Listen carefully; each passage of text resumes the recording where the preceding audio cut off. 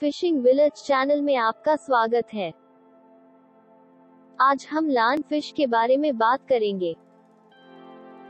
टेरोइस जहरीली समुद्री मछली की एक प्रजाति है, जिसे आमतौर पर लाइन फ़िश के रूप में जाना जाता है, जो इंडो पैसिफिक की मूल निवासी है।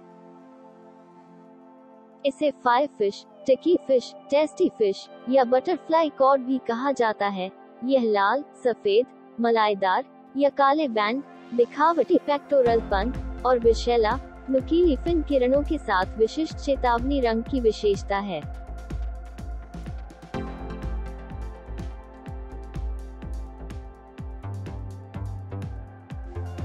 एक बार जब इसकी जहरीली रीढ़ को हटा दिया जाता है तो साफ़ किया जाता है और किसी भी अन्य मछली की तरह छान लिया जाता है।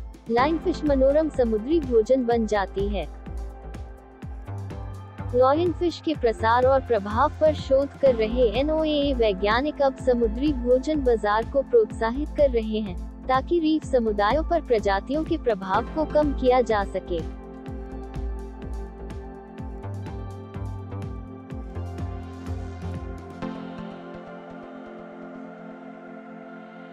हल्का, नम मक्खन युक्त और बहुत कोमल, निश्चित रूप से सफ़ेद मांसल फिन मछली का सबसे मज़बूत नहीं।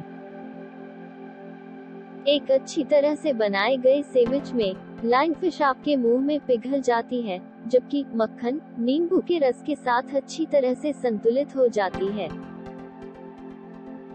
सेविच में यह बल्कि दृढ़ है और लॉबस्टर और झींगा के बीच एक क्रॉस की तरह स्वाद लेता है।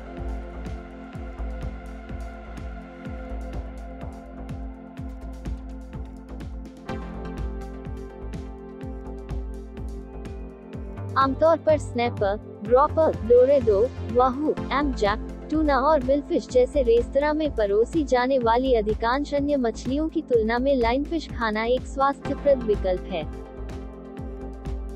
लाइन फ़िश में दिल के लिए स्वस्थ ओमेगा तीन फैटी एसिड, संतृप्त वसा में कम और पारा जैसी भारी धातुएँ अधिक होती हैं।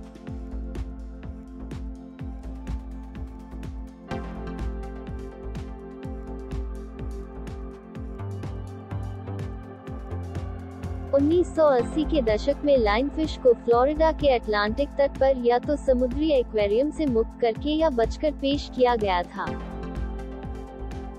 लाइन फ़िश द्वारा आक्रमण किए गए क्षेत्रों में रीफ मछलियों की कई आबादी में गिरावट आई है, और उनके प्रसार को नियंत्रित करने के प्रयास काफ़ी हद तक अप्रभावी रहे हैं।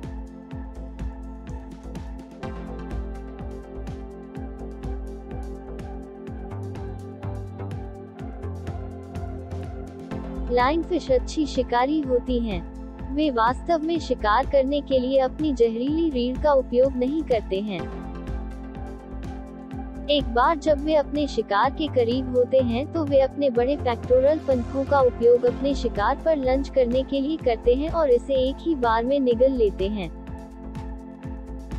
उनके कुछ पसंदीदा भोजन में मोलिस छोटी मछलियाँ और अकशेरुकी शामिल हैं।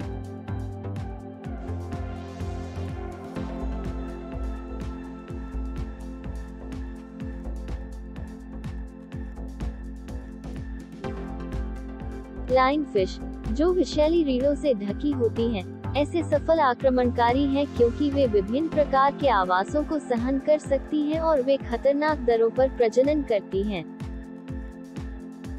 उन्हें भी भूख लगती है और वे जो खाते हैं उसके बारे में बहुत पसंद नहीं करते हैं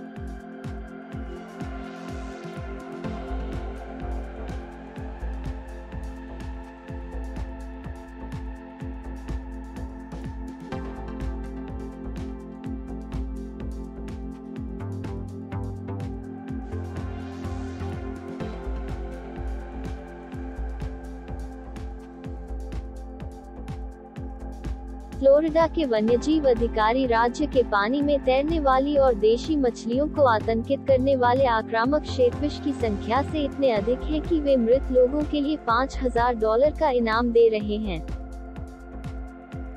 सनशाइन स्टेट के वन्यजीव आयोग ने 2018 में अपने लाइनफिश चैलेंज की घोषणा की।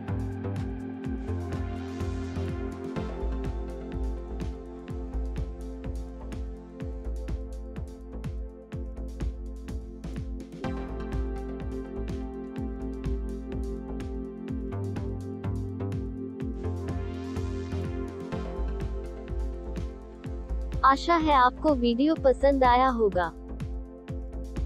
हमारे पास 50 से अधिक वीडियो हैं, कृपया देखें और लाइक एंड सब्सक्राइब करें।